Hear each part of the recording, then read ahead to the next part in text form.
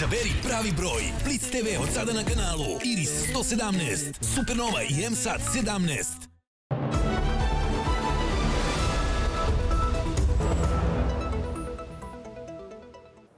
Julian Assange pušten je iz britanskog zatvora nakon što je postigao dogovor sa Američkim ministarstvom pravde, navodi Wikileaks, organizacija koju je osnova, a koja je na društvenim mrežama objavila snimak njegovog ukrcavanja u avion koji je poleteo iz Velike Britanije. Saopštenje da je Assange na slobodi usledilo je ubrzo nakon što su se pojavile vesti da će se izjasniti krivim za kršenje američkog zakona o špionaži na Severnim Marijanskim ostrovima.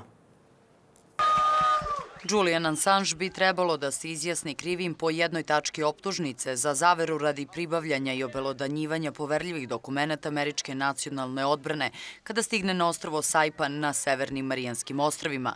Prema dogovoru koji mora da odobri sudija, kazna bi trebala da bude pet godina zatvora, odnosno u trajanju koje je već odslužio, te ne bi trebalo da se suoči sa novom zatvorskom kaznom. Njegova supruga Stella rekla je da će nakon priznanja krivice Assange tražiti pomilovanje. Osećam se ushićeno. Takođe sam zabrinuta sve dok ne bude sve potpuno rešeno, bit ću zabrinuta.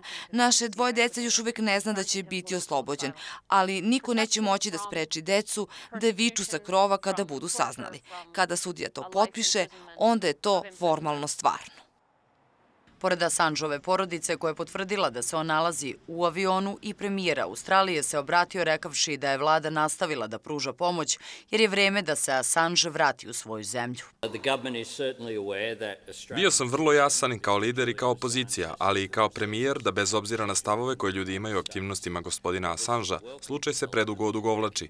Njegovim daljim zatvaranjem ništa se ne može dobiti i želimo da se vrati kući u Australiju.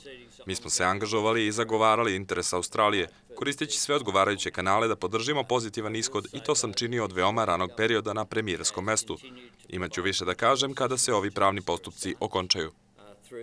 Uh, Podsjetimo, Wikileaks je 2010. objavio stotine hiljada poverljivih američkih vojnih dokumenta o ratovima Vašingtona u Afganistanu i Iraku, što je najveći bezbednostni incident te vrste u američkoj vojnoj istoriji. U više od 700 hiljada dokumenta bilo je diplomatskih depeša i izveštaje sa bojnog polja, kao što je video snimak iz 2007. na kojem je američki helikopter Apač pucao na osumnjičene pobunjenike u Iraku i ubio desetak ljudi, uključujući dvoje novinara Reutersa.